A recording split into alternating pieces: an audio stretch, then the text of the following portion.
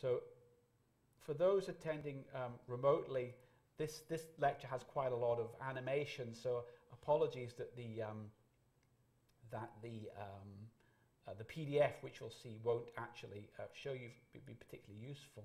But I do have um,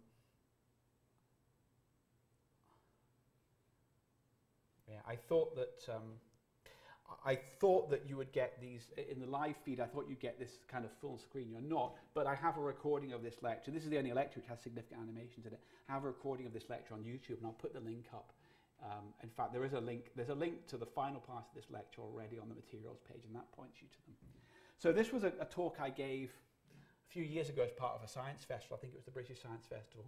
So it's slightly, you know, high level um, such like. Uh, but it does, I think it covers all the major points of the course. So I thought it was a useful introduction to the course, um, to kind of the area we're going to be talking about. We'll drill down into details over the next few lectures and over the next few weeks.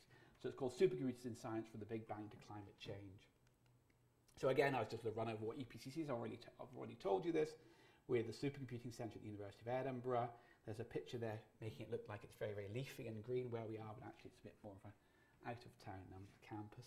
Um, scientists and engineers are always relegated to the outskirts of town, so we're, we're in the bottom right-hand corner of Edinburgh, just on what used to be the outskirts of town. Um, that's our building there. So the, what I'm going to talk about is what a computer's used for. I said this talk was really aimed at a very general audience, but you know, computers are ubiquitous nowadays because computing everywhere, and people use them for playing games, and they use them for playing games, and also updating their Facebook status, and watching videos. Occasionally, people might browse the web and uh, send email, and heaven forbid, might do some work with them. But um, what I want to sort of show you here, hopefully kind of cover in, in this lecture, is that that um, computers can actually be used, are used for scientific discovery. And that's for doing, so why this, this course is called computer simulation is what I'm going to cover is the kind of hardware and, and programming techniques people use to program big, big supercomputers, but also touching on the kind of algorithms and techniques that people use to simulate real-life systems and hopefully try and bring them together with some simple examples. Um, so, I mean, the, the field which I'm going to talk about is called computational science. So that's not computer science. Computer science is, is, is the scientific investigation of computers and computing. Computational science is, is doing, doing science as in physics, chemistry, biology, engineering using computers. So there's a sort of a, overloading of ter terminology. But what I mean by computational science is, is not the study of computers, but using computers to do scientific research. So um, here's a picture here of Peter Higgs, who's based at the University of Edinburgh and um, won the Nobel Prize a couple of years ago. And this is a reasonably good example. Back in the 60s, he came up with this theory, which was that there would be this, this, this Higgs boson responsible for the mass of, or, or the fundamental masses of, of particles around us. And um, what happened was, to try and find that, there's this enormous experiment built at uh, CERN, the Large Hadron Collider, you know, hundreds of millions of pounds spent. And I think, I think that is actually Peter standing there in the corner. You get a sense of the scale on these enormous experiments. And what would have been done classically, you know, sort of from when science, the modern um, um, view of science started around about when Newton started doing things, you, you would come up with a theory, you would predict that something would fall, you know, an apple will fall from a tree. You do an experiment, and if you get the right answer, you're happy. If you don't, you go back and refine the theory again and you do the experiment. So there was this, this loop between the, the, two, the two pillars of, of sort of modern scientific discovery with theory and experiment. But that's not true anymore because in this loop, in almost all areas of science, is computer simulation. So it, when, um, when they built the Large Hadron Collider, they didn't just build it, turn it on, and hope they find the Higgs boson. They'd already run sophisticated computer simulations, and this is a, a simulated event, finding a, a, a Higgs boson, was done decades before the machine was ever built. And so now, in, in almost all areas of science, there's, this, there's this, this circle of a theory, then you have to do some computer simulation, you may or may not even be able to do the experiment, and then you go back and, do, and, and update your theory. But the important point is computer simulation, doing things on a computer, is, is, is intrinsic in this loop. Almost all areas, increasingly in, in science, are, are, at some point in, in, the, in the research cycle and, or the development cycle, if you're doing engineering or, or commercial work, involves computer simulation. So the question is why? You know, why was, why was Newton quite happy with his pencil and paper, and uh, nowadays we have to resort or, or use computing? Well, there's a lot of reasons for that. First of all, the theories can just be too, too complicated. This is some equation from fluid dynamics. You know, nowadays, um, it's very easy to write equations down, it's very difficult to solve them. So in a lot of areas, um, it is simply, in most areas, it's simply not possible to solve a theory uh, just using pencil and paper. You can tackle it with a computer with numerical methods, but you can't do it analytically. It might be too expensive. If you're going to produce a new car, okay, it has to pass very um, stringent crash test um, uh, uh, experiments to make sure that the passengers will, will be safe if there's a crash. That's a very expensive experiment to do for two reasons. Obviously, you're going to waste two cars here, and if you get it wrong, you have to redesign your car. So what you want to do, maybe the experiment is too expensive to do, or you only want to do it once. You want to make sure that when your, when your robot lander lands on Mars, it gets it right, because you only get one shot. Or here you can have multiple shots, but it's, too, it's, it's very expensive. It might just be physically impossible to do the experiment. You might want to understand what's going on in the center of a volcano to predict when the next volcanic eruptions are going to be. You can't send a probe into the center of a volcano. If you simulate it on a computer, you can look right inside and see what's going on, but you can't do the physical experiment there. It may be too big. I mean, one of the big um, worries we have at the moment is about climate change. Um, almost all the evidence for climate change being um, being, being influenced by human activity come from computer simulation, okay? You know, how you cannot do that experiment. You think, well, what if we double our CO2 emissions, what's going to happen in 100 years' time? Well, the experiment's just too big to do. We can't tell, we can't create another world and, and tell, you know, one world not to, not to, to, to reduce their CO2 emissions and another world to turn them on, see what happens. The only way we can do these simulations because the experiment is too big or too possibly too unethical to do, is to do it on a computer simulation. And, and the evidence for climate change being caused by human activity is almost entirely based on computer simulation. Okay? Everyone knows the world is getting hotter, you just stick a thermometer out. Is that caused by human activity? Well, that, that's a different question. And only by running computer simulations of the climate, running them from the 1700s and running a climate when, when there was no industrial revolution and seeing what happens, running another simulation where you, you, you put the input for the industrial revolution, can you actually tie the, the causality between human activity and, and climate change?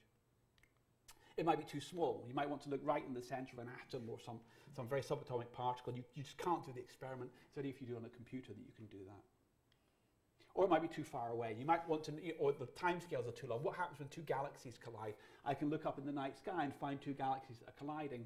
I'm going to have to wait a billion years for them to collide. I need a computer to do the simulations to run it massively faster than real time to try and understand what's going on. So, I mean, a very, very simple example here, but it, it, it does illustrate a, a few interesting concepts, and I'm going to use this example in, in the future. It's What's the world's yearly income? So I've gone and I found myself a list of all 7 billion people in the world in alphabetical order, amazingly. So at the top, there's a couple of brothers from Afghanistan, Adel and Amir, who unfortunately don't earn very much. They only earn a few hundred pounds each. And then we've gone further down the list, and there's I'm, I'm there somewhere. My salary seems to be strangely obscured, but there I am at the position 5,300, 5,303. Further down, there's some other figures you might. There's a woman called Elizabeth Windsor in the UK who earned a couple of years ago 38 million pounds. She seems to be quite well off. All the way down to the bottom of the list, the seven billionth person in the world, Zildjian Zukazhinyama from Zimbabwe, who earn four, unfortunately again don't earn very much money, but they're, they're getting a bit more, three or four thousand pounds. So how am I going to add up, work out what the world's total income is? Well, I take my list of seven billion numbers and I add it up and divide by seven billion. That seems quite obvious. So I'm going to write a computer program to do that. And I'm going to set some running total to zero. I'm going to start at the top of the list. I'm going to add the income to the total, the, and then I'm going to go, go to the next item in the list, and then I'm going to repeat if I'm not at the end of the list. And so I go back to the start again. So this is some pseudo program. But I think just, just to look at that, the important point is in the loop, I have to do three things, okay? I have to add my income to the total, I have to go to the next item in the list, and I have to check if I'm at the end of the list to go back to the start. So I'm going to call that three operations, being very naive here, but let's going to say that, that, that, that in a loop, which I have to do 7 billion times, takes three operations. So the question is, how long does that take? Oh, and I'll print the total at the end. How long does that take? Well, I'm going to go through, so what I'm going to try to illustrate is, is, is the evolution of computing technology since the, since the early 70s, how processors have got faster, but also what the limits to that are, and that's going to motivate why parallel computing high performance computing has become um, much more important recently. So I'm going to go back in 1966, which might seem a strange time to, to go back, but that's when I was born. So I'm a processor. I reckon I could, I could add one number a second. So I reckon I could do one operation a second. Sorry. So my frequency is one hertz, okay? One, operation per second. Add the number, next second, I'm at the bottom of the list. Next second, go to the top of the list, okay? So my time per operation is one second. That means the time per loop is three seconds. I said the loop had three operations. So if you work it out, it's going to take me 650 years to add that, that, by which time it will be a sadly out of date list, of course. Who knows what the number of people in the world will be in 650 years. But that gives you some ballpark. It tells you two things. A, people aren't very good at numerical calculations. But B, it does give you some feeling that that is really a very long time. So this is clearly what motivated computing in the early days. Mechanical calculations like this were just not doable by people. So back in 1971, what we might consider one of the first um, modern microprocessors was, um, produced by Intel, the i4004, and it had a frequency of 100 kilohertz. So if you work that through, it had 100,000 operations per second. The time per operation was a millionth of a second. Time per loop is 30 microseconds, so that's two and a half days. So already, you know, over 40 years ago, we had um, early computer technology was able to take calculations which were simply impossible by pencil and paper and turn them into things which were, were tractable. Even you're waiting a couple of days, but you know, you can see that this is going to have a huge impact. Wind forward 20 years, the Pentium chip came out in the early 90s. It had a 60 megahertz frequency, that's 60 million operations a second, 17 nanoseconds per operation, that's more like 50 nanoseconds per loop, and we're down to six minutes.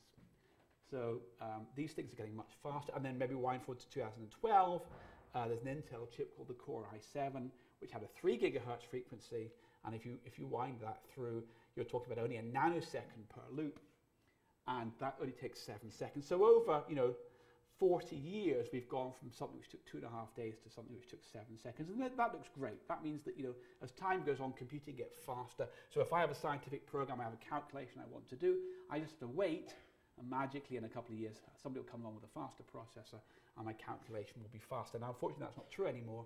I'm going to go through why. Just to get the figures straight, I mean, we get a bit blasé about these things nowadays. Oh, I've got a three gigahertz chip, big deal. Um, in a third of a nanosecond, which is the time it takes a modern processor to do an instruction, light only goes 10 centimeters. Light goes in old money a foot a nanosecond. So in, in, in, a third of a nanosecond, light, which is the fastest thing there is, only goes 10 centimeters. So you can see we're really down to quite phenomenal speeds here. But what I'm going to tell you is this has stopped. Okay, that's, that's quite an important point.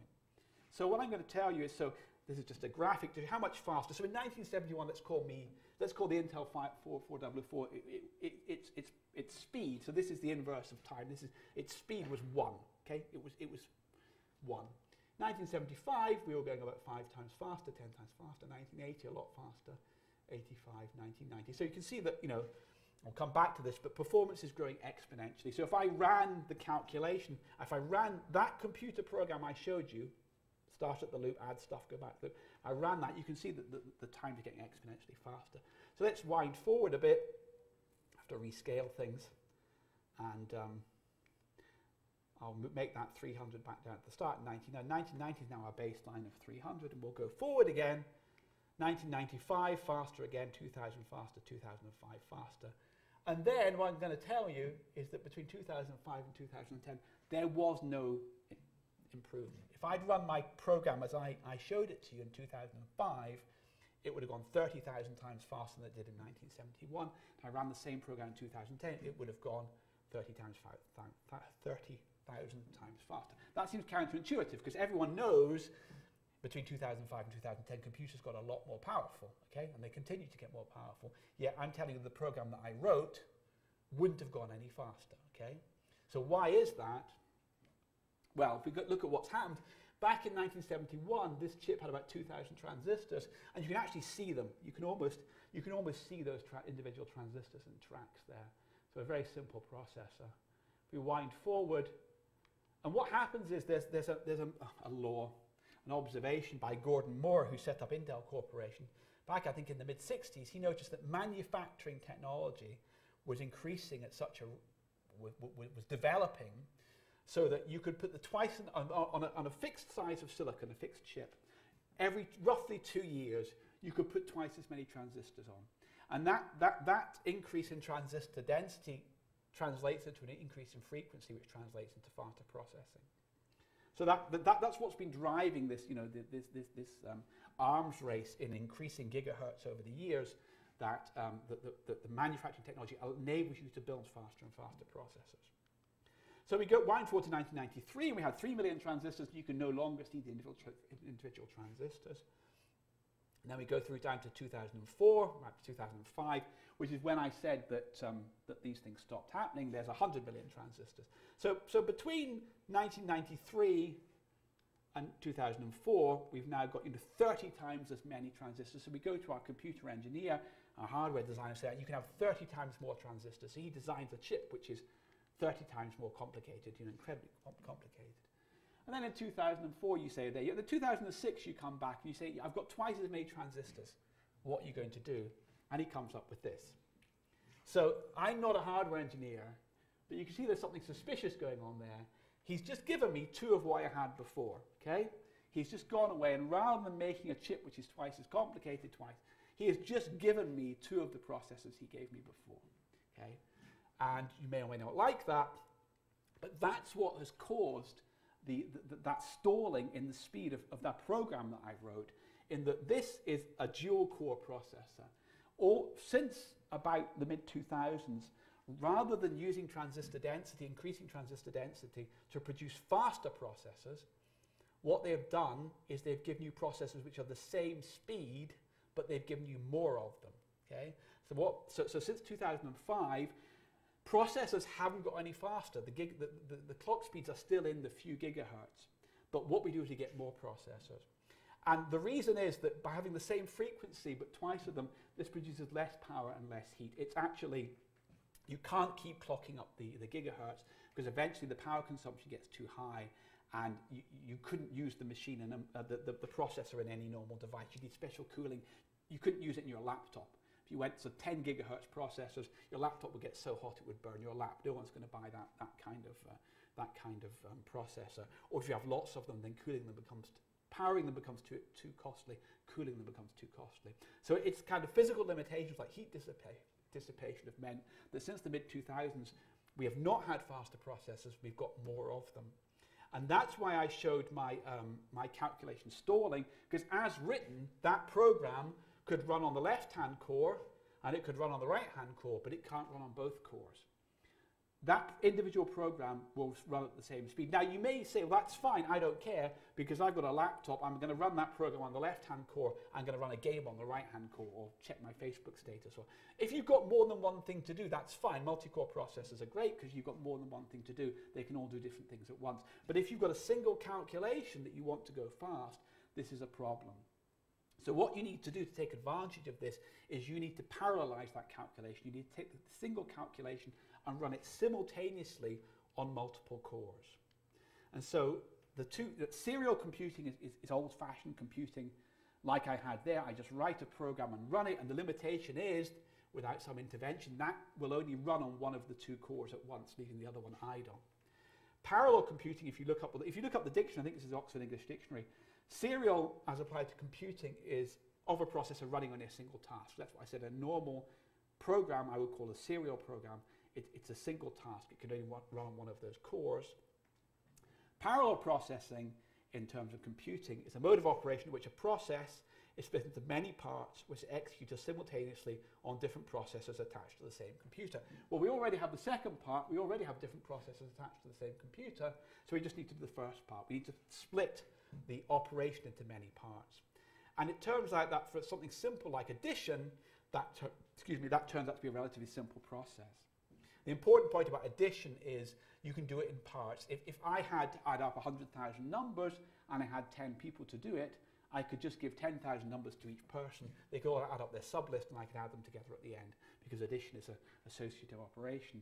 And so it's actually quite simple in simple cases like that to take a program um, and parallelize it, make it run simultaneously on multiple cores.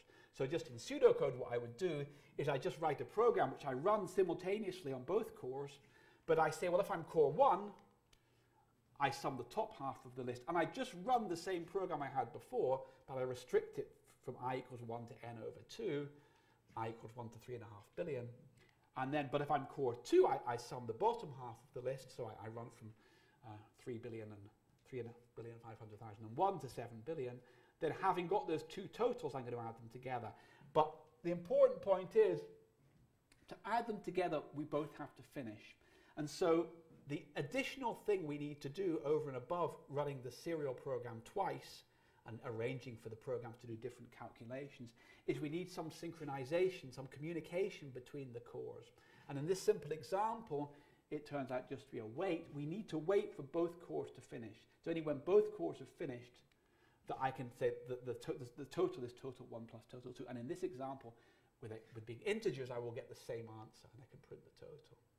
So again, that may seem like a fairly trivial operation here. Well, it's fairly, I just wait for both cores to finish.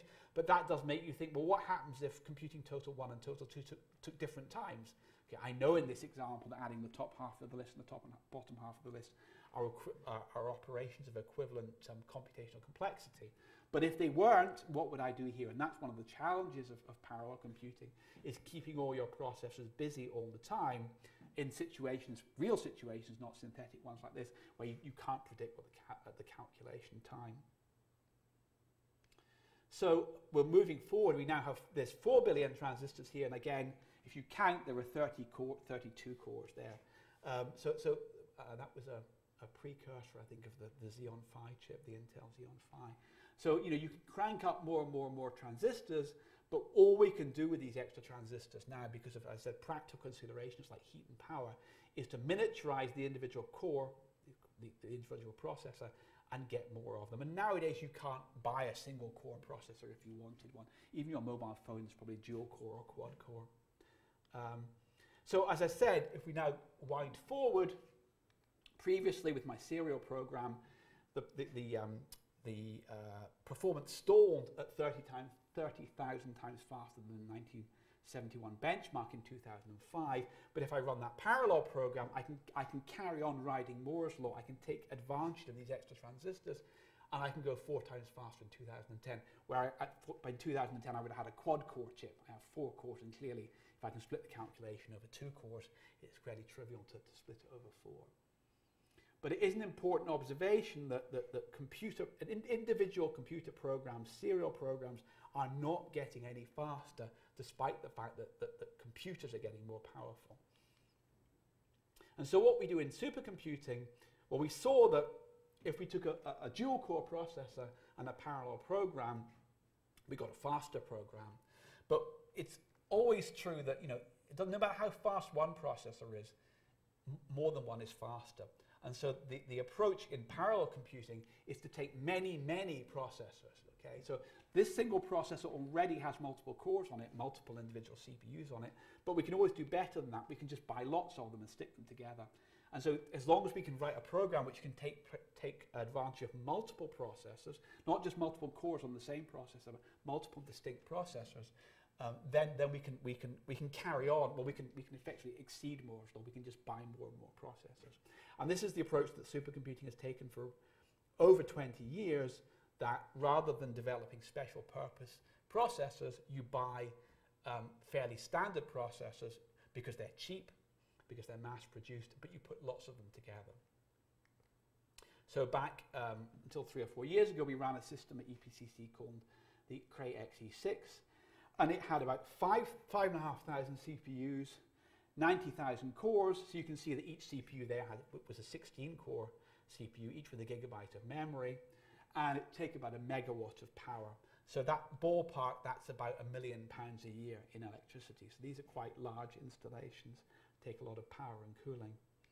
Um, and, and I haven't really gone into the details, but those, in, those processors, although the two cores on a single chip could easily communicate, we'll see because they can read and write to the same memory, individual processors, which is like two laptops, okay? There's a couple of laptops in this room, each might have, might have a quad-core processor. To get those two laptops to speak to each other requires some external networking. In this case, it could be Wi-Fi or Ethernet, but for a parallel supercomputer, you, you buy a very fast network. So you buy lots and lots of fairly standard, relatively high-spec um, processors and you link them together with some dedicated network that allows you to communicate between the processors quickly and efficiently. The modern system is called Hec, uh, Archer. Uh, that's been around for a couple of years, since late, late 2012. Um, again, this now has uh, 10,000 CPUs.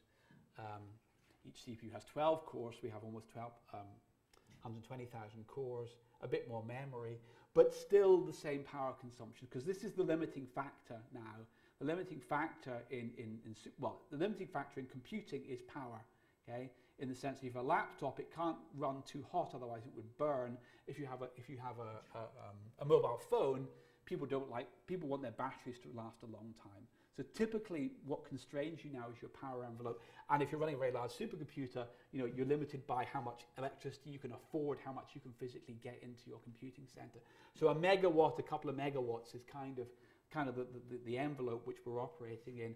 But even within that fixed power budget, because of the increase in, um, uh, in both the number of, of, of, of CPUs and the number of cores, um, we're, we're, carrying on uh, increasing performance. So this machine had about four, has about four times the performance of its predecessor.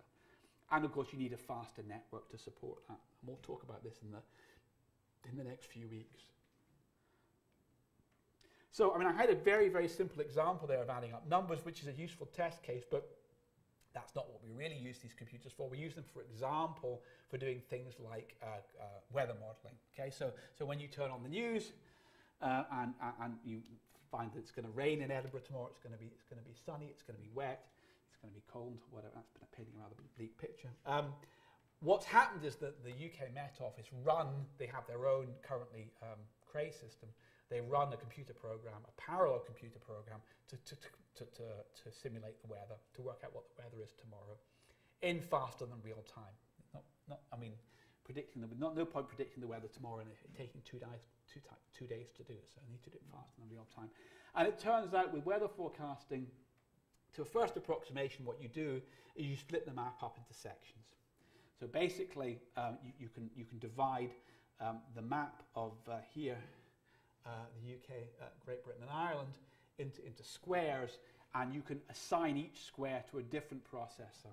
And the way the equations work, the communications between them is relatively, is localized in some sense. Um, we can come, we'll come back to this specific examples later.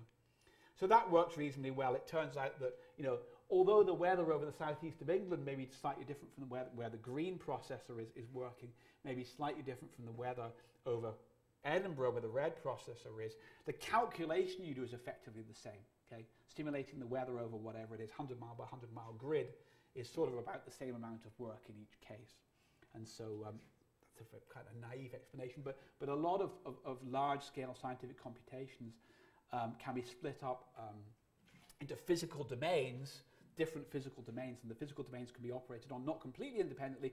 Clearly the weather is coupled between two, two of these squares, but it's coupled in a way that means that, um, that you get more out of the... It, it, dividing the map up incurs additional communication, but you win because overall you have you can do parallel processing to increase the, the computation. I'll, I'll cover a much more simple example in detail, hopefully at the end of today.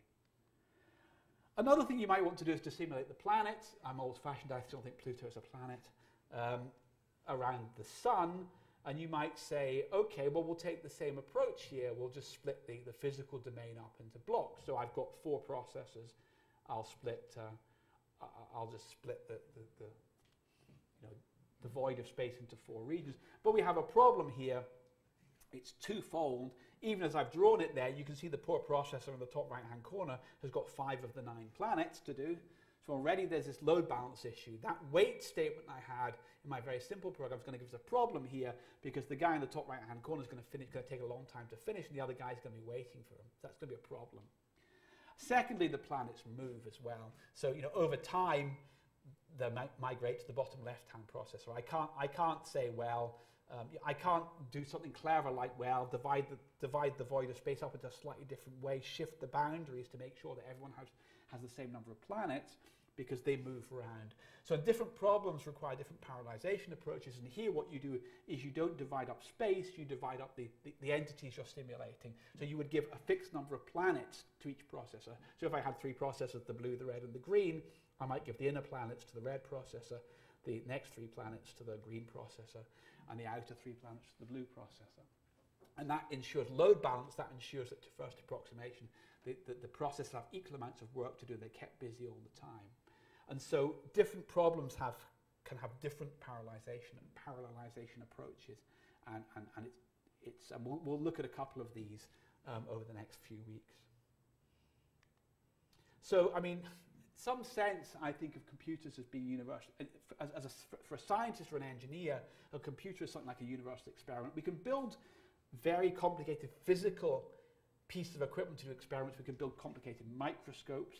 We can build the Hubble telescope. We can build um, the um, Curiosity rover, which had this amazing sky crane way of landing on Mars. All these things are amazing, um, amazing pieces of equipment, but they effectively built to do one thing. For a scientist or an engineer, a computer is like a universal experiment. It's like a blank sheet. Someone buys a computer and gives it to you. Um, but then just, if, it, if you didn't program it, it would just sit there. And so what computational scientists do, and increasingly all scientists and engineers do, is, is they do, although the, um, the computer can be seen as a universal experiment, it can simulate the weather, it can simulate subatomic particles, it can simulate galactic collisions. You need to write software to do that. So increasingly, computational science is about, well, has been for a long time, about writing good software. And that nowadays almost universally means good parallel software to take advantage of parallel processing um, to do particular simulations. And so, okay, so I was going to, so then the last part of the talk was a bunch of, um, was a bunch of movies.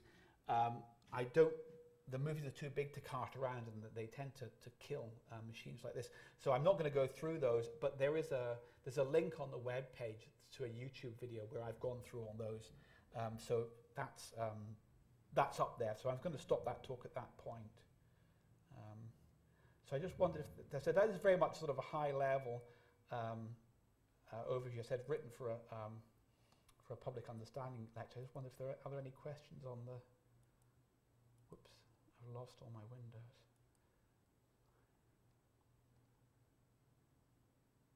Okay. I think most people are having, most people seem to be having, seem to be okay. I don't know if I,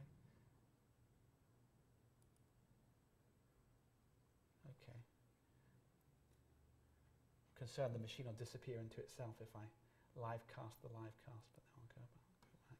So um, what I was going to do now was I think probably just do a very brief, uh, I'll see how far I get through. So I want to break at three to give people a break, but um, this lecture sort of overlaps the previous one, but I'll go through this um, and that was that'd be a good place to break um, because we started slightly, slightly late.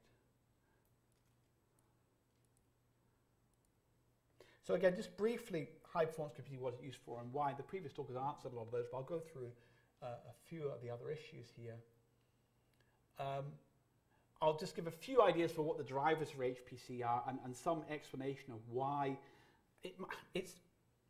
I, am not a particularly a massive fan of hardware. I'm not a kind of a hardware junkie.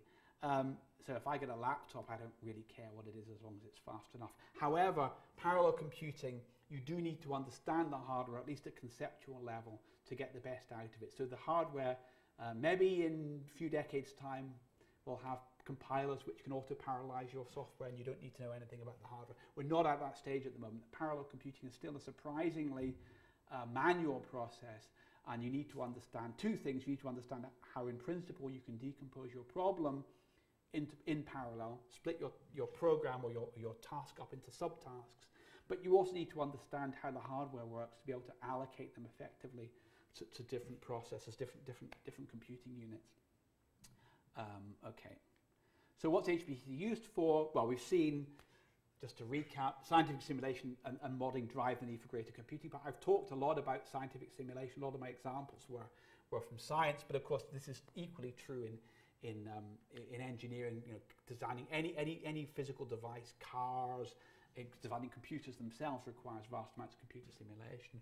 And we've seen that making processors with faster clock speeds is difficult. We have heat and power limitations.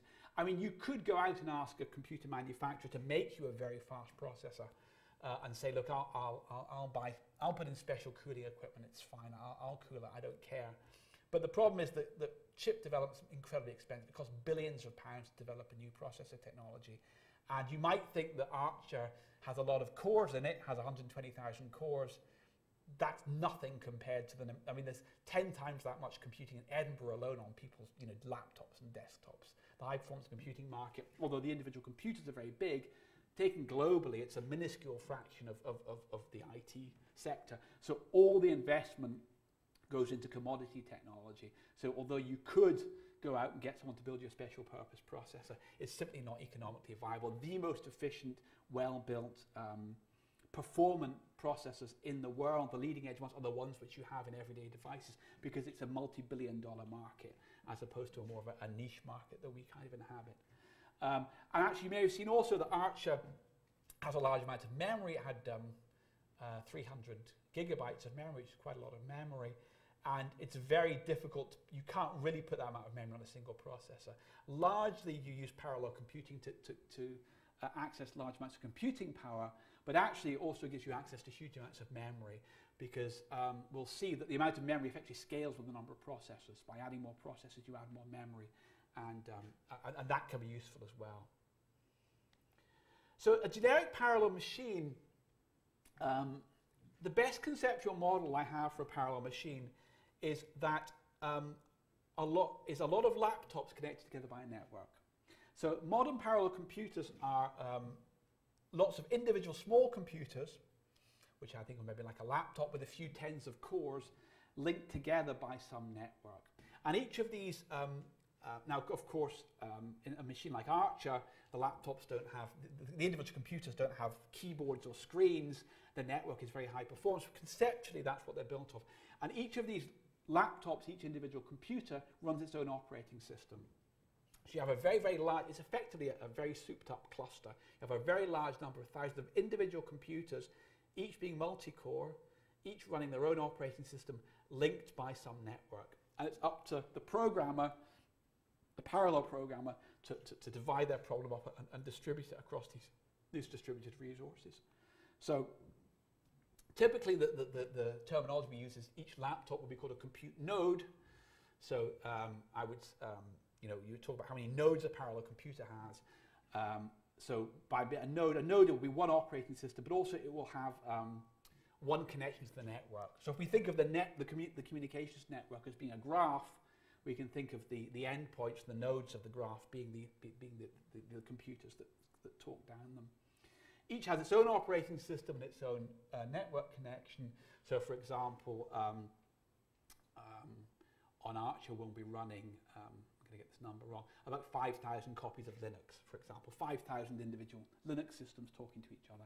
And so if this system, if each of these was a quad-core laptop, then we would say the total system had 20 cores, but it's actually, we kind of need to know that although the machine has 20 cores, it's actually five individual nodes, five individual computers uh, each of which is a quad-core system. So, so modern parallel computers have this hierarchy, this parallelism within a node, within a computer, because of multi-core technology, but then we buy lots of them and string them together. And so the kinds of simulations you run, again, um, there's, a, there's a nice one there of um, someone was simulating um, dinosaurs running on the on the um, on, on Archer. Um, and I've said, but the video that I've, I've not gone through the final part of the, of the previous talk, the video on the, on the web goes through a lot of these examples and explains kind of how they work.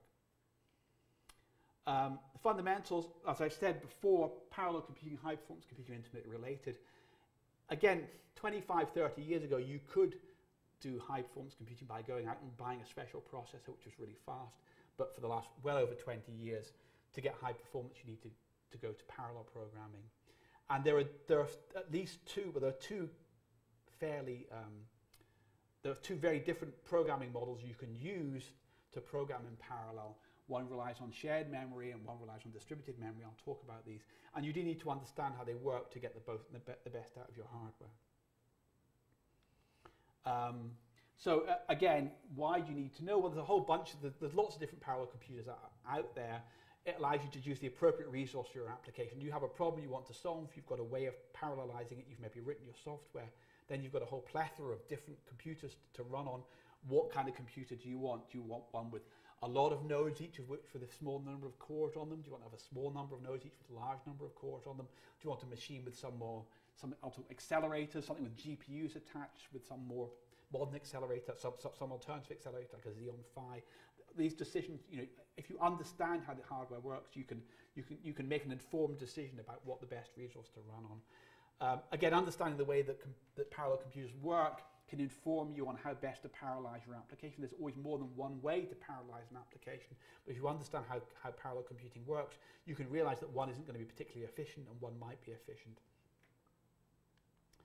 Um, differences from desktop computing, um, you don't log on to the compute nodes of a parallel computer directly. So we'll see that when you do the exercises, you submit the jobs via some batch scheduling system. So you log on, have a diagram in a second, but you log on to some gateway or login node um, and then from there you submit jobs to the, to the cluster, to the parallel computer. It's not a GUI-based environment. It's, um, for someone like me, it kind of old, well, sorry, old-fashioned in a good way. It's um, almost universally Linux-based and, and, and, fairly command line-based.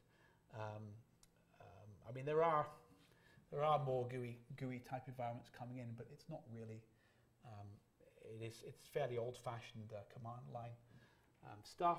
You share the system with many users. I mean, a, a machine like Archer has um, 120,000 cores.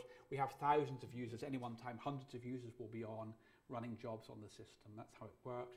And the resources are very tightly monitored and controlled. So, for example, if you want to use Archer large scale, you would make an application. You would get you would get an allocation of of computing time, which is effectively a budget certain amount of computing hours, CPU hours, and every time you run a job, it will be decremented against that. When you run out of CPU hours, you can't run anymore.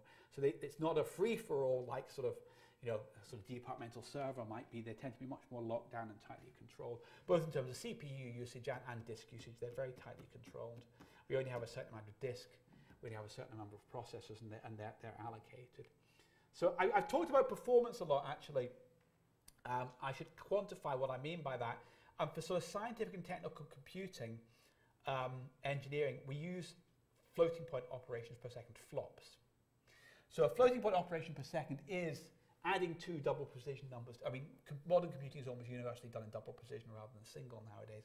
Um, I'll cover some of these issues in a couple of weeks, how, these, how you actually do floating point arithmetic on a, on a computer. But um, adding two double precision numbers together, multiplying two double precision, precision numbers together. A modern processor can issue um, one of these instructions per cycle. There'll be a single assembly language machine code instruction for multiplying, which seems incredible. The single assembly language instruction for multiplying two double precision floating point numbers together. But this is called a floating point operation, one floating point operation. And um, modern computers are, are measured in the kind of petaflops um, performance. So kilo, kilo is 1,000, megas a million, giga, tera, peta, exa. We're at the peta scale, 10 to the 12 floating point operations per second. So, so Archer has a peak performance of round about two and a half petaflops, uh, two and a half million million floating point operations per second. Now, we'll see that that is something akin to the um, to the uh, um, environmental rating of a Volkswagen, what you get when you actually drive it is very different from what it might say on the tin. But um, the, the, the, there are other limiting factors um, to computing, and I'll, I'll jump ahead. In, in, practice, modern computing and, and, at least scientific and technical computing is, is limited by access to memory. You might be able to do 10 to the 12 floating point operations per second, but you can't access 10 to the 12 um, floating point numbers per second. Memory, memory access speeds are lagging way, way, way behind clock speeds. It's a major, major issue that basically that is all that matters in modern scientific and technical computing is, is memory bandwidth. Um, the, the, the, the, um, the clock rates are effectively semi and really not your limiting factor. That's for scientific and technical computing. Other disciplines have their own measures. If you're doing, if you're doing graphics, you want frames per second you're uh, um, if you were doing, um, uh, uh, if you're working for a bank, you would want a database access per second. So other disciplines have their own measures, but in scientific computation, floating point operations per second is, is kind of the benchmark, the metric that's used uh, for good or ill.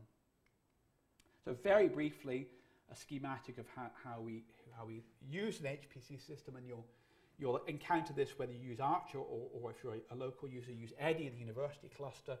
You, from externally, you SSH into some login nodes to upload and download data, compile, and then to, so the login nodes will be a, few front end systems, but the, but the hundreds, thousands of cores um, which you actually want to run your parallel program on, which is typically called the compute nodes, you don't log onto them directly. You have an intermediary batch system, so you just say, you know, could you please run this job? It's going to take an hour and I want 100 cores, and, and, and the batch system is, is the thing which, which schedules those onto the compute nodes. And the communication, there will be shared disk between the two, so, so I.O. can be, you, you know, your program can easily be uploaded and, and data can be retrieved through some shared disk system. But it is important to note that you're logging onto some front-end system and interacting at least sort of um, second-hand access through this batch system. And in fact, the batch system is about the only thing which has a global view of the computer. Each of the compute nodes is just a little Linux machine sitting there running Linux, thinking that it's a nice little 12-core machine. It's not really aware of the fact it's in a big cluster and it has some network access. Each of these are individual, individual computers. The only global view you have of the machine is the batch system. That's the only piece of software which only has a global view of the whole machine as a whole. Um, and then typically, as I said, you write code and compile on the login nodes, uh, and then you execute on the, on the compute nodes and, um, and go around in some cycle. And Archer, just to reiterate, it's, we've seen this picture already, but um, I've mentioned it has a two and a half uh, petaflop, 2.5 times 10 to the 12 floating point operations per second in, in principle. Um, the machine's got a Cray XC30. It has Intel Ivy Bridge processors, typically 24 cores per node. So that's where you have about 5,000 nodes and 120,000 cores, and well, 4,920 nodes, each running a version of Linux called Compute Node Linux. So you might say, well, wait a second, you haven't told you, Archer cost about 43 million pounds. So you've, bought, you've, you've given 43 million pounds to Cray, and they've given you processors from Intel, and they give you some operating system they found free on the web called Linux. That doesn't seem like a very good deal. Well, what makes a parallel computer special is the interconnect, and what Cray have put their effort into is, to, to, is, is creating very, very high performance, high bandwidth and low latency um, networks. And on Archer, we have something called the Aries interconnect, It has a strange topology they've called the dragonfly topology. But the main point is that, that is Cray's input, at least at the hardware level. They also do the full software stack, but at the hardware level, the thing which makes Archer unique from a bunch of Linux laptops is, is, is the interconnect and a bunch of software that, that we run. So summary, as I said, high performance computing been, is equal to parallel computing and has been for over 20 years. You have to run on multiple processor cores at the same time and it may seem strange, but that's still very much, a, in most real applications, is very much a manual um, developer-driven process. Um, we typically use fairly standard processors because that's where the mass market is, that's where the billions of dollars of investment goes in. We buy standard processors, but we use thousands of them. And the one additional feature you need to make this work is a very fast interconnect, a very fast network for interprocessor communications. Okay, so that was the um, the talk. I'm almost back on time. I'll just check if there's any questions on the. Um, no. So, did anyone have any any questions at all about any of that? I said it's fairly general, high level. I'll go into a bit more detail in the next talk. But so what I'll cover in the next talk is I'll, I'll just give a brief overview of the hardware, and then I will um, cover um, the two exercises which um, which um, I'm going to hope people are going to work on.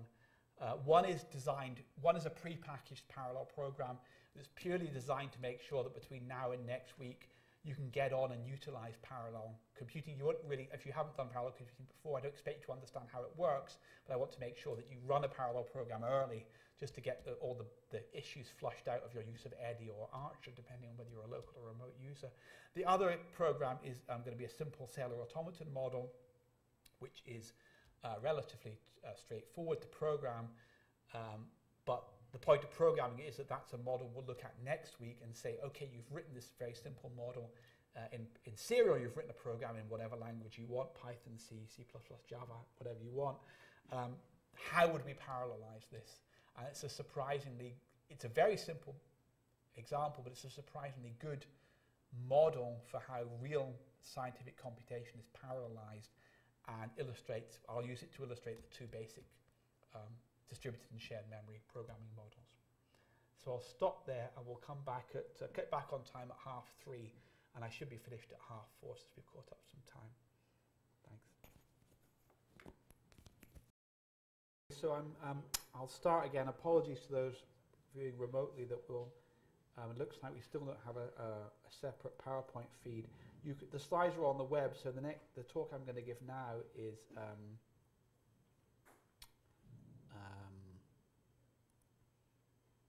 the, uh, the fourth talk, HPC architectures, um, i i under the lecture slide materials. So.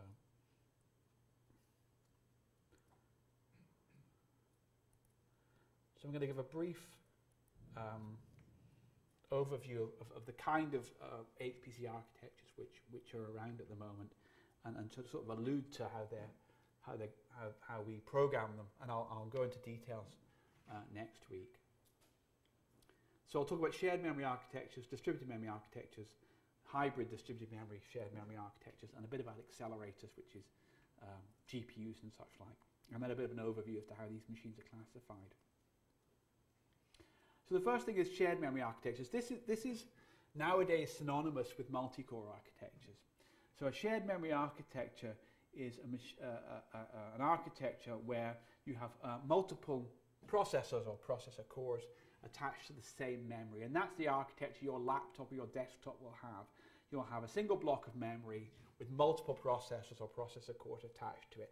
Now, in fact, Multiprocessor systems have been around for a long time since the early 90s, but what used to happen is manufacturers produced single core processors. So you went to the hardware store and you bought a processor, you got a processor, and if you wanted to have a multi, uh, sorry, if you wanted to have a shared memory architecture, you had to build a special motherboard where you plugged lots of single core processors in and had external wiring to connect them to the same memory. Okay, so shared memory architectures have been around for a long, long time, and we tend to call that multi-socket system. So you look at a motherboard that have, have multiple sockets, you stick processors in each socket, and there's external wiring to, to attach that to the memory. Um, nowadays, modern multi-core processors are just a packaging technology. You get a shared memory systems on a single chip. Okay, so you can't even buy a multi-core processor if you want one. But the idea of, of, of, of so, so it's a slightly confusing system, uh, uh, um, uh, situation uh, because the word processor has ceased to really mean anything. To me, as more of a software person, a processor is a core. It's a CPU. It's something which can issue an instruction and multiply two numbers together. To a hardware person, the processor is the thing you buy off the shelf, and it might have lots of cores on it. Okay, so processor is kind of a meaningless term now, or an ambiguous term. So probably the correct terminology is core for the for, for the, what I would call a single CPU, and socket is typically what we talk about. A multi-socket system would be something which have a, had a couple of processors in it, where the sort of wiring is external. But the important point is a single operating system controls the entire shared memory system. Your laptop only runs one copy of the Mac OS and one copy of Linux, okay? So all those cores, however they're connected together, they're all attached to the same block of memory and they're all under the control of the same operating system. So that's really what a node is. And in, in, in, a parallel supercomputer, a node is what I would sort of call a computer, but it means a, a single system with a single operating system. It's really the OS which defines um, that sort of domain. So this is conceptually what it looks like. Um, we have a single block of memory, a lot of processors or cores attached to it, and they'll be attached through some shared bus. So there'll be some circuitry to allow all the processors to access the same shared memory. And in this situation, all cores have the same access to memory. So they're all, they're all equivalent in terms of their access to memory. But you can immediately see, and so that's what a multi-core laptop is like. You have a bunch of processor cores all attached to some block of memory. And you can immediately see there's a problem because there's a bottleneck. There's only one link going into the memory and multiple processors. And you can see immediately, I already said that memory access speeds were, were, were a major limiting factor. Well, this is even worse. You're, you're attaching multiple, multiple cores to the same, same memory, and there's a single bottleneck. So this doesn't scale particularly well, and typically, you know, a 10 or so, of order 10, 16 cores attached to the same block of memory in, the, in, the, in this architecture is kind of, kind of the limit of, of practical, practical usability. But this, this is what your, what your um, um, your, your laptop looks like. And you may worry, you might say, well, wait a second, surely lots of processors writing to the same block of memory is going to be dangerous. They could overwrite each other. Well, yes, in principle they can. For, for, for normal programming, so, so, if you write lots of individual applications, each of them to become an operating system process, and they're isolated from each other. But we'll see that to do parallel programming, we use threads, and there they can access the same physical memory. And these issues of, of, of race conditions, of, of, multiple threads reading and writing at the same memory location at the same time become things we have to, we have to think about. But these are called symmetric multiprocessing architectures. Multiprocessing because there's multiple processors or cores, but symmetric because they all have the same access speed to memory. there's nobody, nobody is, um, is, is privileged. And actually sort of indicated on here on the processors, in these kind of architectures, you, modern processors have cache memory, which is very fast memory where they, where they, they store data for, for subsequent reuse. And the caches will tend to be local to the processor. So although you have a single block of memory, to try and alleviate the fact that the, uh, the memory access speed is cripplingly slow, um, you have cache memory, and each processor will typically have its own cache. Um, what we do uh, to go beyond that is to build non-uniform memory access architectures. What this means is you build like a motherboard with four sockets. And as I said in the early days, if you wanted a four processor system, a four core system, you, you built a motherboard with four sockets and you stuck four single core processors on it. Well, nowadays what you could do is you could stick four quad core processors on it. So each of the, the sockets takes a processor, which is a multi-core processor, which has here four cores and its own memory. But you have uh, some external wiring which allows all these cores to access any memory. So the although the memory is physically attached to a particular processor, there's a locality there. So, so in the top right hand corner, this, th th th these cores here, in this processor, have faster access to that memory with a direct link than they do to this memory or this memory over some, some, some, some external links. It's still a single operating system, so this would appear to the user as a 16 core system all governed by a single operating system. However, in terms of its performance characteristics, if you try hard enough, or not particularly hard, you can see that actually this is a non-uniform memory access architecture. Some memory is fast to access, which is the memory which is local to you. Some memory is slow. So conceptually, it's still a shared memory architecture. You still have a large block of memory and a lot of cores attached to it, but architecturally, it's implemented a different way. And that, leads to these non, non, uh, non-uniform memory access. So cores have faster access to their own local memory. And if you're concerned about performance, that can give you issues. Um, and we'll maybe, um, maybe able to look at some of those issues later on. So most computers are now shared memory architectures, as I said, due to multi-core. Some are true shared memory with symmetric multiprocessor, but most have some level of NUMA. Most computers now have, um, have multiple, uh, large uh, multi uh, multiprocessor systems have multiple multiple processors connected up externally, and so you get some some non-uniform non-uniform memory access uh, element there. As a user, you, you program this if it's a normal symmetric multiprocessor. All the cores are controlled by a single OS, but I said it's implemented in a different way. However, this is this is difficult to scale. Um, typically, I mean, day to day, a, um, a, a multi-processor system might have a few tens of cores. Um, there, are there are dedicated manufacturers who try and scale these even larger. Silicon Graphics scale memories up to thousands, scale these systems up to thousands of cores. But it's very, very difficult to build shared memory systems with very large core counts. It, it tops out for two reasons. The first reason is, as I said, you have this bottleneck to memory. So although you can stick lots of cores on, some, some stage they become useless because they can't actually read or write data at any reasonable speed.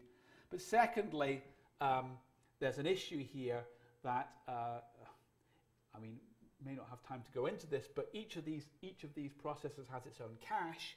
Okay, you have you cache um, local uh, local data, and if you only have a read data, that would be fine. The problem is people like to write data as well as read it, which is a bit of a problem. So whenever you update data, data in your cache, you need to tell all the other processors. You need to say, wait a second, I've just updated some memory. Um, so I've, I've updated my local copy of this data. If next time you access it, your, your your, if you have a cached copy, it's invalid. So when you read data, two processors can, can read the same data and both have their own cached copy of it, which is fine.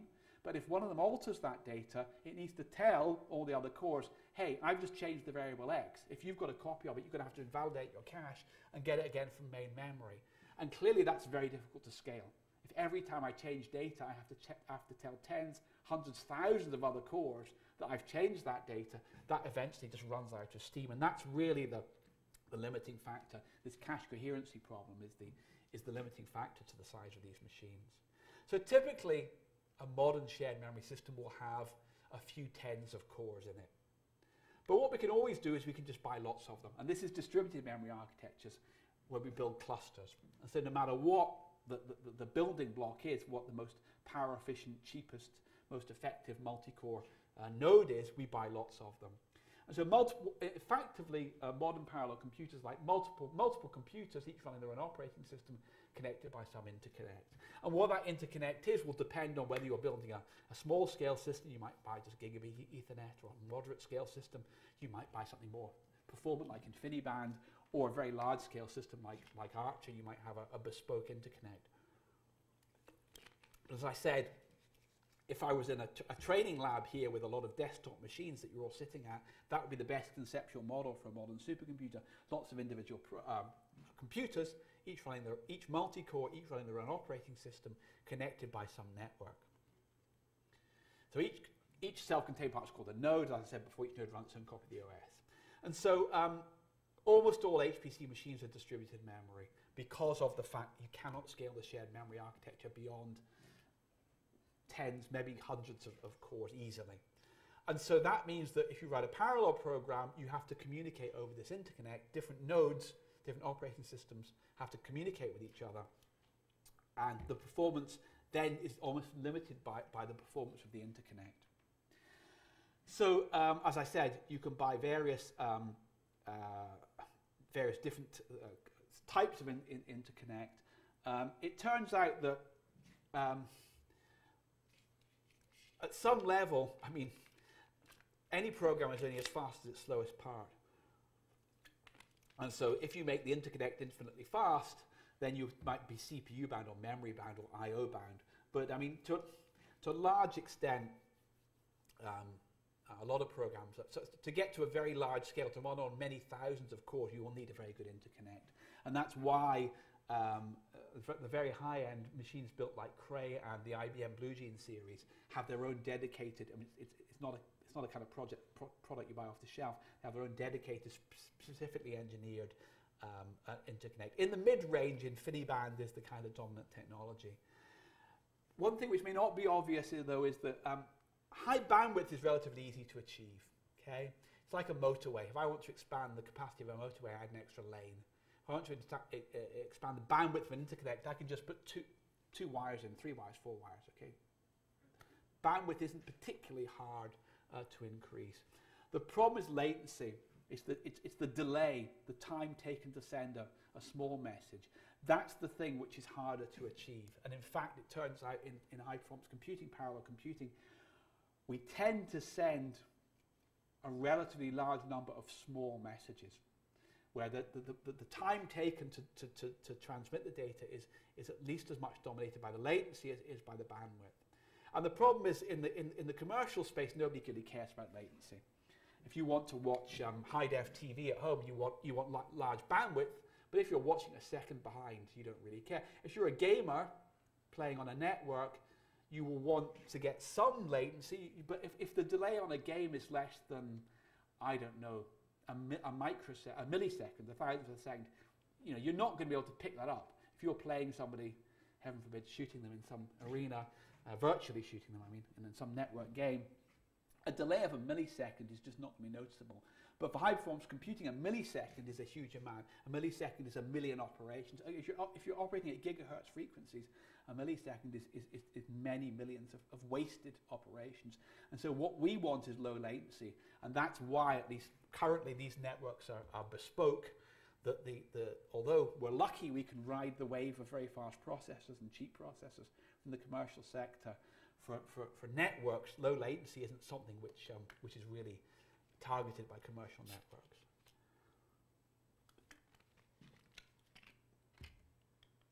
So almost everything now forms into this class, distributed shared memory hybrids. As I said, you, but you network together a lot of computers, a lot of nodes where each one is a, is a, is a shared memory architecture. So we have multi-core nodes, each with their own memory, and that's why the memory in these large parallel systems scale for the number of nodes. Each node has its own memory and you just bolt them together. Um, and so, and the network will have some topology. Um, for example, on the earlier, earlier incarnations of the Cray systems, it was quite a simple regular grid. The systems lived in a, a fairly simple 3D, 3D grid, um, communicated routing up, down, left, right, forwards, backwards. The more modern networks are, are more, more complicated to give better bandwidth and better fault tolerance, but there is some topology um, in there. So these, these hybrid architectures, um, not only multi-core nodes, but NUMA nodes for multi, um, uh, multiple processors in a node, multiple multi-core processors connected by some external network. And so, as I said, it's very normal to have these NUMA non non-uniform memory access nodes, multi-socket systems with multi-core processors. But it's important to note that a single node is still one operating system. In this example, although each node is made up of four physical processors, each with four cores, it is still a single copy of your OS, in this case normally Linux, ru running that, um, in charge of that entire, entire shared memory system. So, as I said, um, how do we program these? And this is what we'll talk about a bit tomorrow, uh, next week. But most applications in modern high performance computing use something called message passing. So basically, um, in order to get a, a, in order for two different nodes to communicate with each other, which remember are, are two effectively distinct computers connected by some network, they have to communicate data. And what we do is we, we, we, we parallelize programs by message passing. When, when a, um, one processor wants to talk to another processor, it packages up the information and sends it down the wire. And in, in, to all intents and purposes, it's like writing a parallel program where your individual cores communicate with each other by sending and receiving emails. It's a pretty good analogy. Whenever you have to, whenever you want to exchange data with somebody, you have to explicitly package the data up into a single box and say, I want you to send this 45 kilobytes of data to processor number 53. It's sent over the network and processor number 53 hopefully is issuing a receive to receive that data. It's a two-sided send and receive process. It's very manual. It's been around for 20, 25 years, but that's still the dominant way that, that, that these, um, these um, uh, systems are, are, are, programmed. And the library which is used to do that is called MPI. So typically we program using standard languages. There have been a lot of parallel languages invented, but very few of them have ever taken off. People program in C, C, C++, or Fortran, and call external library routines to do, um, to do this message passing. So the compiler isn't involved at all. The compiler just compiles your, your, your serial code, and you have explicit calls to message passing uh, routines. We typically, the other difference about HPC is we typically run a single process per core. I mean, you might have a multi-core laptop with four cores. It's running hundreds of processes at any one time. If you look at Task Manager or type top in Linux or whatever the equivalent in the Mac you'll see it's running hundreds of processes, all being swapped in and out, time shared. For us, if you're only concerned about performance, there's no point running more processes than you have cores, okay? Because if you have eight processes and four cores, all that's going to happen is they're going to get time sliced. They're going to, you know, they're going to run in batches of four. So, so, so we tend, uh, for high performance computing, you tend not to use any of the sophisticated process scheduling or, or even virtual memory um, capabilities of modern operating systems. You want it, it's really quite stripped down. You really want to say, if I've got a quad core node, I want to run four processes, and I want, I want process one on core one process 2 on core 2, process 3 on core 3, and process 4 on core 4, okay? So modern operating systems are actually much too general. So, so in a machine like, like Archer, the, the operating system that runs on the compute nodes is massively stripped down to get rid of all the extraneous functionality. In the old days, people used to write their own bespoke operating systems for high performance computing. Would, you know, a company would produce both the hardware and the software. But um, you can see the temptations. You can see how the conversation went, you know you go to your, your, your, your product manager and say, yeah, you know, we've got a team developing our own operating system, or there's this one on the, on the, on the web that's free. What did you say? F- free. Oh, that sounds really good. So everyone uses Linux. I mean, Linux has a lot of advantages, but it's not designed for high performance computing. So a lot of what the customization which people do is actually taking a lot of stuff out to strip it right back. You might say this looks a bit weird because I'm saying that to obviously to communicate between two nodes, which are just physically distinct computers running different operating systems with some network, we're going to have to do something special, and, and this turns out to be sending messages. But on a node in the shared memory, these, these cores can communicate by reading and writing, just reading and writing to the same memory. Uh, my, my, analogy is a large, we'll cover this later, a large blackboard. Okay, uh, the cores are like four of you in an office, all sharing a big blackboard. You can read and write and, and communicate via writing to the blackboard. However, you can do that, and the way that um, shared memory programming is done, which is typically done using multiple threads, is done through something called OpenMP. OpenMP is a way of um, a system um, which requires compiler support for, for, for, for, generating and managing multiple threads and programming in the shared memory environment. However, typically, typically um, people don't do that.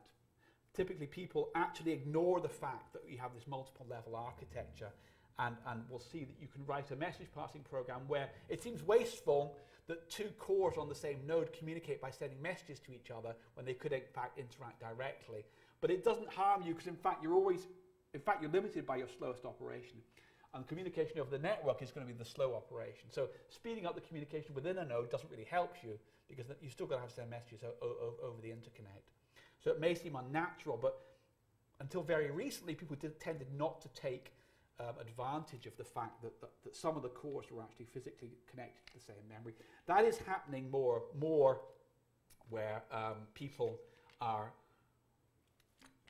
using a hybrid message passing and shared memory model, where what you would typically do is in this system you'd run one process per uh, physical processor, one process per, per quad-core processor, but then they get the cores within a single processor, within a single multi-core processor to communicate using threads.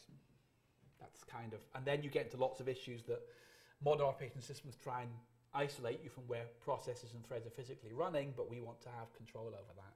So again, that could be a, a customization which needs to be done. So just to sort of instantiate that with Archer, um, each node on Archer is a single 24 core system controlled by a single copy of Linux, but it's actually two 12-way multi-core processors per node.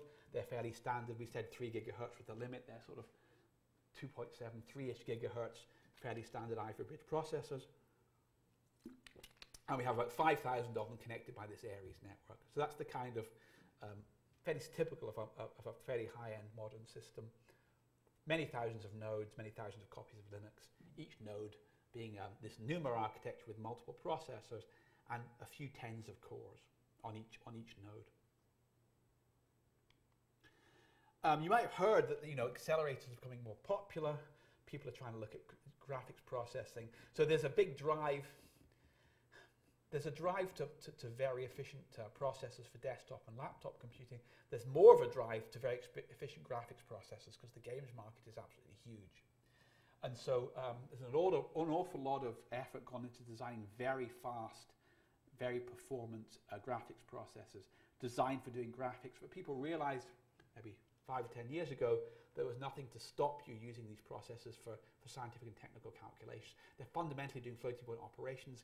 Graphics is all about, you know, geometry and, and, and, and, and, and you know, rotations and such like these. These are the, the, the floating point operations that graphics processors are optimized for.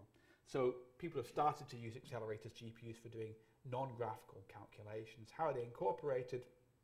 Well, um, typically you have a hybrid architecture. So you have a node, well, for example, if we look at Archer, Archer has two 12-way multi-core processors per node. So each, if you were to look at a node of Archer, it would have two sockets and we'd have two processors stuck into them. If you wanted to inc in, in, include an accelerator, you would instead of having two processors per node, you'd have one processor, one 12-core processor, and one GPU, for example. So you have a hybrid architecture, heterogeneous architecture, where a single node has a combination of, say, CPUs and GPUs. Um, So the nodes, it's just the same architecture. The nodes are, are, connected using standard interconnect, but on a node, you might have a number of accelerators. At least if you have two sockets, well, you can only have one. And you need to have some host processor and some, some socket. That, they're not particularly easy to program, although things are coming on at the moment, largely to communicate between accelerators, you have to basically communicate the data from the accelerator to the CPU the CPU communicates over the network to another CPU, then the, the, the then the, the, data is transferred to the GPU. So, so um, the, the, um, the GPUs are there to accelerate the performance of the CPU, um, but they, don't, they can't really communicate directly with each other, which introduces an extra hop. So, and also communicating via CPU memory involves lots of extra copy operations. To, um, the CPU and the GPU don't share memory, you have to physically copy between them, and that is a real that's a real bottleneck at the moment in all accelerators. That you have a very very fast, potentially very very fast um, accelerated processor like a GPU, but its interface to the CPU is through some fairly sl relatively slow um, link, so you're limited by the co copying data between the two, which is exacerbated by the fact that the GPUs are so are so efficient, so so so good at doing floating point operations that that um, that, that, that they, they can in principle eat up data at a very fast rate. I mean, so what people talk, typically talk about in these machines is they talk about different tiers. And they kind of, in Europe, we have, there's a sort of a classification. If you hear about someone saying a tier zero machine, are sort of pan-national facilities. So there's a, uh, four sites. Uh, the Prace, Prace is a big project which is aimed at tying up supercomputing across, across Europe at the very high level, what they, what they call tier zero machines which are, which are, which are used by different nations. In this classification, Archer will be a tier one machine, it's a national facility. Then we have regional facilities, there are various regional organizations, they say in the UK to do that. And then tier three, you would have institutional facilities like, like Eddie. So, so the two machines that we might be using for this course are tier one, which is the national facility Archer, and in this, in this um, sense, in this classification, tier three, which are these uh, university level facilities like Eddie. And where they differ is not so much in the processor technology, but more in the interconnect. And because of that, in the size. Tier zero systems can have more nodes simply because they have a better interconnect and therefore they can, they can, they can support more nodes. So summary is the vast majority of HPC machines are fairly simple architectures, really, uh, well, fairly basic architectures. They're shared memory nodes linked by some interconnect. Um, we'll come back to this, but most are programmed using this pure me this message passing model. Um, we, can talk about this uh, next time. And then the um, uh, the shared HPC, these machines span a wide variety of sizes, you know, from multi-petaflops machines with millions of cores down to workstations with multiple CPUs and, and accelerators. And I would say, although I've been talking about um, the very high-end, very large systems, the programming techniques we're going to be talking about, shared memory, distributed memory programming, are equally applicable to your laptop or a small cluster. It's just they become more, more important as, as the size goes up. So um, I'll just check if there's any questions. No, fine. So what I wanted to do, unless there are any questions, was just to go through briefly in the last 20 minutes the, the exercises. Um, the first one is this um, again, this talk comes from another. Um, this talk comes from another presentation. Again, another public understanding, but I think it's useful here. One of the exercises, there are two exercises. One is just to write a simple um, serial program in, as I said, any language you want, Python, Java, Fortran, C, whatever you want to, to do, uh, to do traffic modeling. And the reason is that this traffic model, although very simple, is actually a very nice um, uh, analog of a real scientific computation which we could then think about how to parallelize. So very briefly, I'll go through this traffic modeling example. Um, if okay, so my okay, fine. So we want to predict traffic flow. It's very useful to predict traffic flow. Uh, modeling traffic is a bit like simulating the weather you have two modes. One is what you call weather forecasting. What's the weather going to be like tomorrow? What's the traffic going to be like in at the rush hour? And then you can make local decisions like how are we going to alter the traffic lights? How are we going to you know close lanes here and there? So people want um, like weather forecasting, short-term predictions of how, how, how traffic is going to evolve. Also, you want to, and you want to avoid congestion. Um, there's something slightly going funny with these. Yeah. Okay. These were originally videos. I think it's getting confused. It can't find the videos. Yeah. Okay. So you want to avoid congestion where things where things lock up, but also the equivalent of of, of looking at climate forecasting.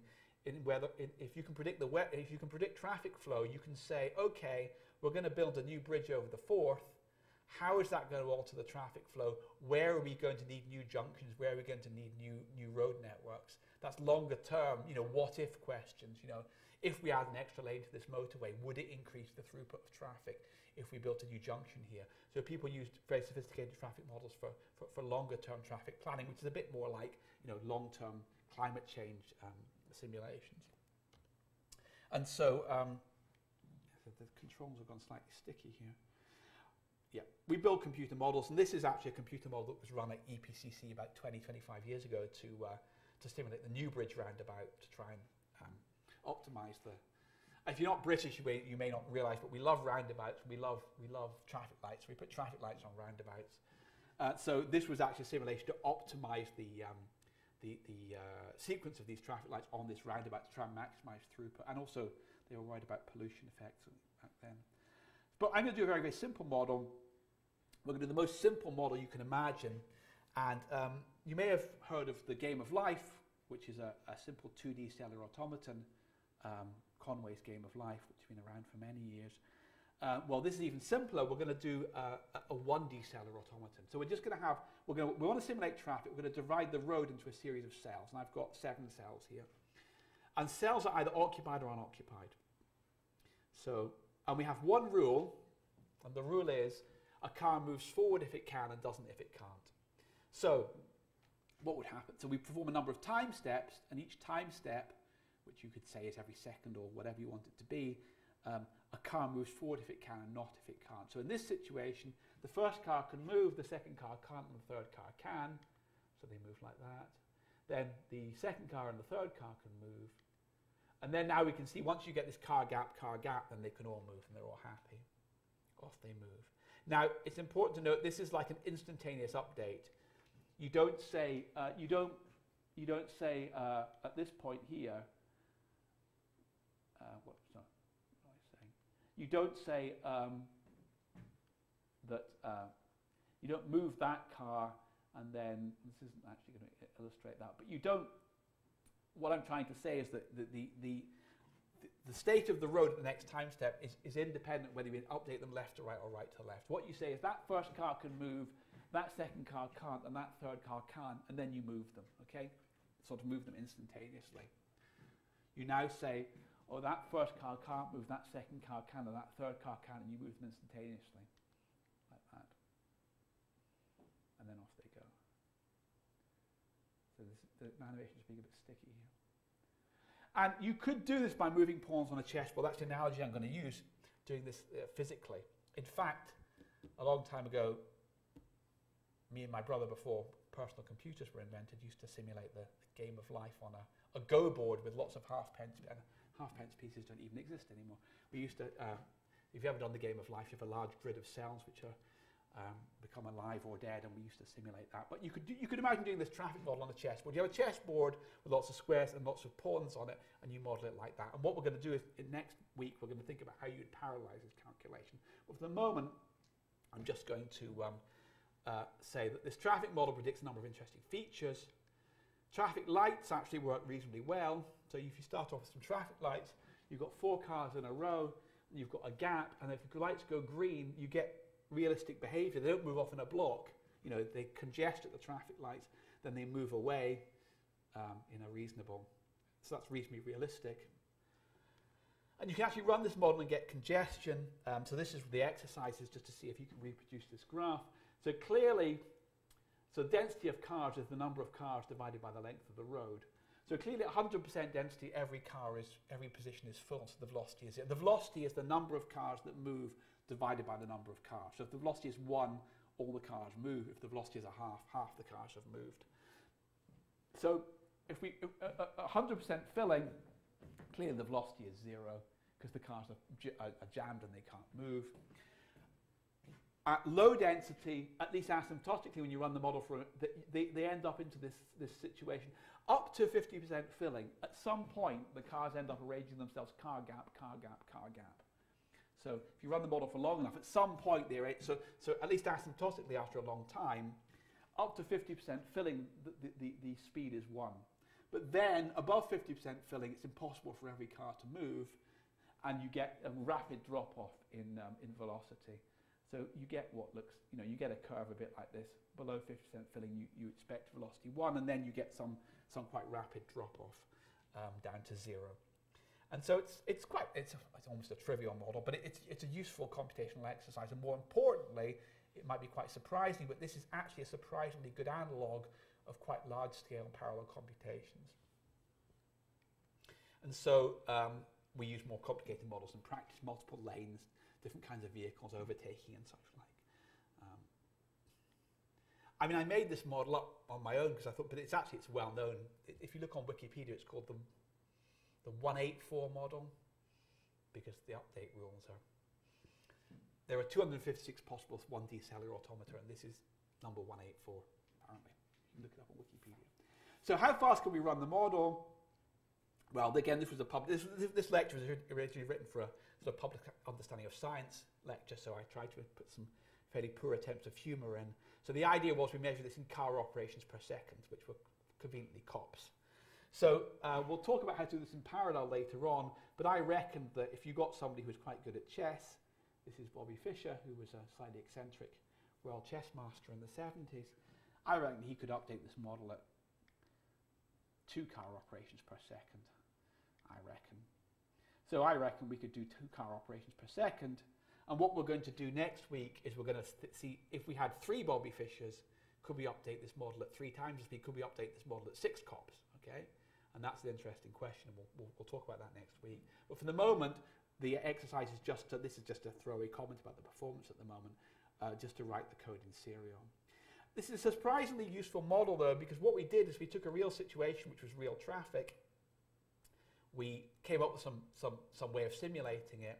We came up with some, some update rules, and then we modeled that in, as a model it by hand, pawns on a chessboard, and we'll see next week how we can model that in parallel. So you have this loop from, from a real situation you model it in some way, you have some update rules, you model it, and then you see how you can model it in parallel. That, that sort of loop is, is, is sort of analogous to, how, obviously infinitely simpler, but analogous to how you might model uh, the weather. You have the real weather, and then you, um, you, you, you simulate that in terms of mathematical equations, and then you solve them using some numerical solution methods. We'll talk a bit about this on the fourth um, installment of this lecture.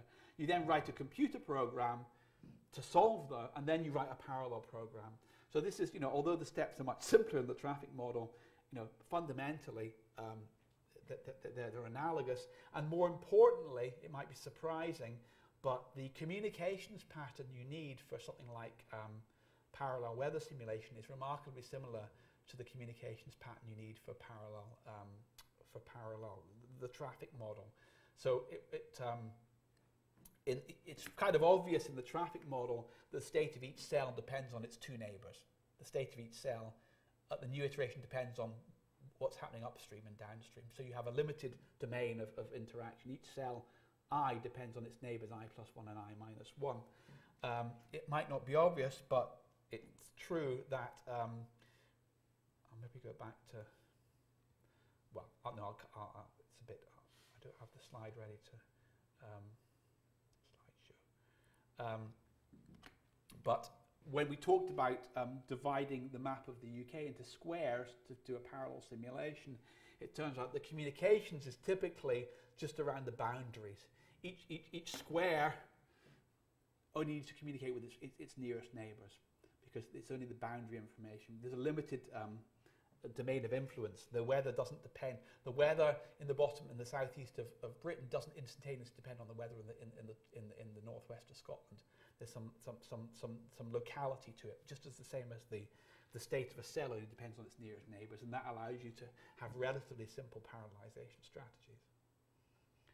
As I said, real com computers have trillions of flops, not, not cops. And, and so, as I said, here it is. I did have, I put the diagram on. So what we're going to do in the parallel weather modeling, you would, you would take the map of here, um, uh, Great Britain, Northern Ireland, and, and, the Republic of Ireland, divide it into squares, and you give a different square to each separate um, computer, each separate node of your, or core on your parallel computer. But the important point is, and it's not obvious, but if you look at the equations, that each, um, if every domain here had to communicate with every other domain, it wouldn't work. Every time you needed to update the model to the next time step, every core would have to communicate with every other core, and you would just be lost. You'd spend all your time communicating and no time calculating. However, it turns out that in these, at least in the simplest cases, um, the, the state of, of, of, a cell only depends on its nearest neighbors, which translates into uh, a processor or a core only needing, needing to communicate with its nearest neighbors. In 2D, possibly its eight nearest neighbors, the ones it's connected to. So the communications is localized. And so the communication overhead is, is, is manageably small. And you can actually, you, although there is an overhead to communication, um, it's, it's, it, it's, it's, it's um, the, the, increase in computational speed by parallelizing paralyzing your code uh, drowns out or outweighs the, the, the um, increased computation, uh, increased communication. And again, the very simple traffic model, which we'll study next week, illustrates that. So the slide, if you look on the web, the, um, the exercise material, I have an exercise sheet for the traffic modeling exercise. It goes on to talk about parallelization in sections three and four that are beyond the scope of today. But sections one and two are just a description of the model and um, the rules, quantify the rules, and then write a serial program and some hints as to how you could might play around with it to try and reproduce that, that, that um, graph of uh, average velocity against density. And I think it's a reasonably interesting exercise, but the main reason for doing it is to you've written a serial program, and then we can think, having written it, you've got a concrete idea of how it works, and then next week we can think about how you might parallelize it using these two different parallelization models of shared and distributed memory. So that is just a, something you could do on your laptop. There's no, um, um, there's no parallelism there. The other example is um, called the sharpen exercise, I have a very short lecture to introduce that. This is the example which is, whoops, I don't want to do the PDF, I want to do the, the um,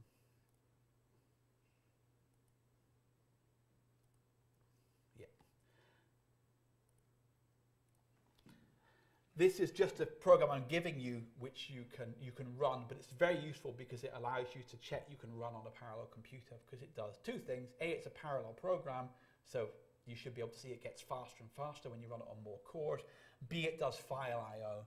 It reads in an image and writes out an image, and that's important because um, at least on systems like Archer, you need to make sure you're running on the right file system, otherwise you get problems. So it checks those kind of basic things. So I'll just very briefly go through this. This is an example that I stole from the uh, what would have then been the computer science department at, at, at Edinburgh. Um, it was done by, oh, so was, I didn't notice it was Bob Fisher. I found this from something over 20 hypermedia image processing reference, Bob Fisher, Simon Perkins, Ashley Walker, uh, Wolfart from Department of AI back in 94. That's why I found this example. But the, the reason for this is really to familiarize yourself with running parallel programs. So just to give you something concrete to do either on an Archer or an Eddie, to run a real parallel code that does file I.O.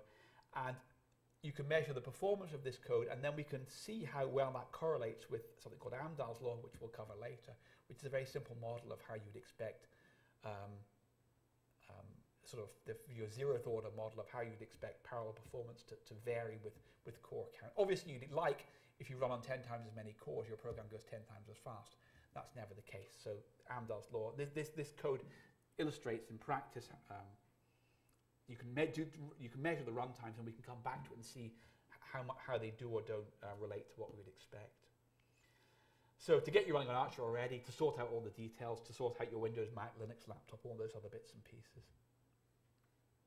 Uh, for those of you remotely, if you're trying to access Archer, um, Archer is actually down today for maintenance, but that's just a particular, I don't know if it's back at five or?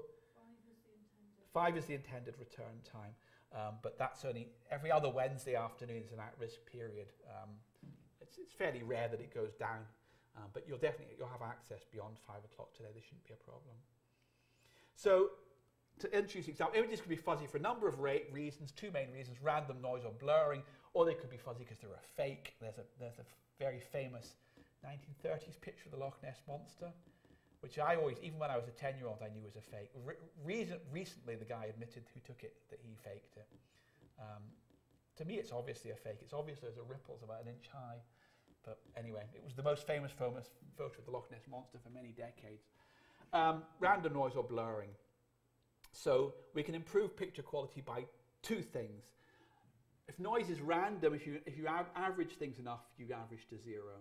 So we can, we can smooth to remove noise. So we, we, we take a pixel and we average it with its nearest neighbors just to try and smooth out the noise, okay? But secondly, if it's blurred, that doesn't help us. So what we need to do is enhance the edges. So, so we, if we've got random noise, we smooth by averaging, and then to detect the edges, we can say there's an edge, and we can enhance the edges. We can detect the edges and, and multiply them up by some factor, and then add them back in again. And so this is an example taken from that paper, and I don't know who this is actually. This isn't Bob Fisher. I don't know who it is. Fuzzy picture. You detect the edges, and then as well as average, you, you add the edges back in with some increased, um, some increased factor, and you get a more sharp image. And that's what the program I'm going to give you does. Um, and just a bit of technical details. I mean, it doesn't really matter what they are, but the important point is you, each pixel is replaced by a weighted average of its neighbors, and you, you weight your nearby pixels with a, with a higher value. So, so, so, so what we're going to do is average over a 17 by 17 square. So each pixel is averaged with all the pixels plus or minus 8 from it. But we don't average, in, we want to average more highly with the close pixels, so we, we weight them with some Gaussian. So that's that, that, I weight them with some Gaussian like that. Secondly, we want to detect the edges, and the standard way to do that is just to take the second derivative.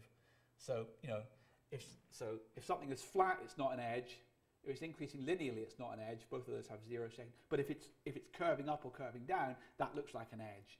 So you, you, you, just, you just take the second derivative of the image. Uh, this is called the grad squared Laplacian operator, but that doesn't, doesn't really matter. Um, you're just effectively taking the second derivative of the, of the image to detect the edges. You can do these both at once. It turns out to be a convolution opera operation. So it turns out if you average each pixel with its neighbors, but with this funny inverted top hat weighting. whoops, okay. Oh, you're not seeing anything. I'm seeing something funny here. Okay, that's fine. You're not seeing anything funny. That's okay. Um, um, then, then you do both at once. So what you, all the program does is it takes each pixel in an image, averages it with all neighbors in a 17 by 17 square surrounding it. I can't remember what 17 squared is. 489? Doesn't sound right, does it? That's wrong. Anyway, um, and uh, but with this funny weighting, but that actually turns out to do two things at once. A, average the images with a Gaussian weight. B, take the second derivative. But all you really need to know in terms of parallelization is that you, you, you find the edges by summing, you take for every image pixel, you compute the edge, which is the sum of all the pixels plus or minus 8 in each direction of the image at that displacement times some filter. So it's a convolution operation you're averaging each pixel with all its neighbors with some weight. That gives us an edge, and we, we add that back into the original image with some scaling factor. I think I use a factor of two. And then you have to rescale the image to get it back to 0.255 and all kinds of stuff. But basically, that's what it does. And the most important point is it's clear this is a parallel operation. While one, well, one process is, is, is computing uh, one pixel, another process could be doing another pixel because they're independent. You're just uh, you're averaging with the neighbors. Um, so you're um, yeah. So you, you can you can you can do this the uh, computation of the edge for any pixel is independent of any other pixel. So I do a completely trivial parallelization. This is all deliberately very very naive. Uh, a master process reads the image from disk. It broadcasts it to every other processor. So every processor, every core has a complete copy of the image, which is very wasteful, but it's very simple. And then you just scan the line image, the, scan the image line by line, and the distribution, if you have to divide the pixels up between processes, if I had four, four processes or four cores, uh, each process computes every fourth pixel. So I might do pixels 0, 4, 8, and 12. My neighbor would do pixels 1, 5, 9, and 13. Somebody else. That's a very, very simple, naive thing to do. We add them all back together and then we save to disk. And the important point is the, the program reports two times. It reports the time for just computing the edges on each processor, which we'd expect to, because it's a, the computation of each pixel is independent, independent, we'd expect that to scale linearly, the performance to scale linearly, but also the overall time, and the overall time includes I.O. And the I.O. is a serial operation. We just nominate one boss guy to read and write the disk. And we'll see that's sort of the, the fundamental assumption in these parallel performance models that you have a part which is parallelizable and a part which is not. And, and, and you know, it's the, relative weight of the two. So this program was designed to try and model that. So just a diagram, read the, the, the, the picture in on a di on a particular guy, uh, on a particular process, broadcast it to everybody, and then as I said, if we had four processes, we, we, we would we, each processes one, two, three, and four, we would split the image up in that in that way, scan line by line, and, and, and each take every fourth pixel. And so um, I give you a reference serial version and an MPI message passing version um, on the web. And so there's a fairly um, there's a fairly verbose um, exercise sheet. For this audience, it may be a bit um, a bit low level. The exercise sheet sort of sort of assumes that this is probably your first introduction to Linux as well. So some of you will be able to skim through quite a bit of it, but there is the exercise sheet for the sharpen exercise here. Oh, sorry, that's the lecture slides. Uh, exercise sheet for the sharpen exercise. It's fairly verbose, but hopefully um, it's fairly explicit. It's actually written for Archer, so I have a little crib sheet for those of you who might be using Eddie. Um, just a few things, just a little crib sheet of things you'll need to do differently. Um, the one thing I don't know is um, when you run on, as I said, when you run on a computer resource, you typically have fairly constrained resources. So um, as an informatics user, you will have a budget of time you're allowed to charge your jobs to. And I don't know what that's called. I know I've told you here to find out what it's called. The default um, job we've given you um, charges to ECDF underscore physics, which is clearly um, relevant to somebody from the, from the School of Physics and Astronomy. You just need to replace that with your relevant charging code. And, and that's just your Unix group. So if you, do, if you find out what your Unix group is when you're on Eddie, that, that will be your charging code, but that's explained in the, in the sheet. And um, there's the source code here. It's a compressed tar file um, because um, uh, I distribute, the sample images are very raw uh, text format, so I've compressed them because otherwise they're very bloated. But hopefully, I mean, it's up to you, but you know, over the next week, come back next week and talk more about parallel programming models but both of these examples are very useful. I'll use them as references next week. A, I'll use the traffic model as a, a very simple example of a program which you could think about how to parallelize in our two programming models, which will turn out to be shared memory and distributed memory. Secondly, the uh, sharpen example will get you up and running on a parallel machine, but is also a very useful example to think about simple performance models for parallel programming. Then actually weeks, that's next week, weeks three and four, I'll stop talking about parallel programming so much and talk more about numerical analysis and floating point numbers in week three, and then random numbers, PDs, and, and particle methods in week four. But the first two weeks are very much focused around parallel computing, and then I'll go on to numerics and a bit about um, various Monte Carlo and particle and PDE-based techniques. Okay.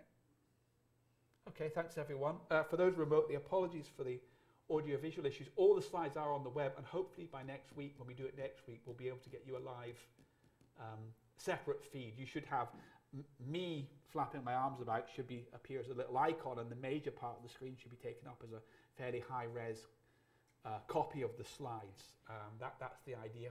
We'll try and get that sorted out for next week.